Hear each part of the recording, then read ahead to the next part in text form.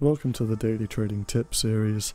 In today's tip is to risk 1% per trade. I know that a lot of traders say that you should risk 2%, but I still think that's a little bit too much, especially if you're a new trader. You should be risking a maximum of 1%. Not only is this going to help with your mental game and your psychology, but it's also going to be able to double the amount of trades it's going to take for you to blow up your account.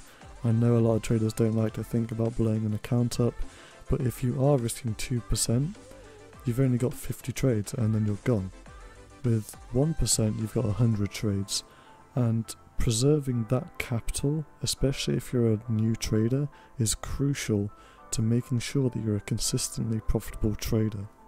And remember, traders, happy traders, happy trading.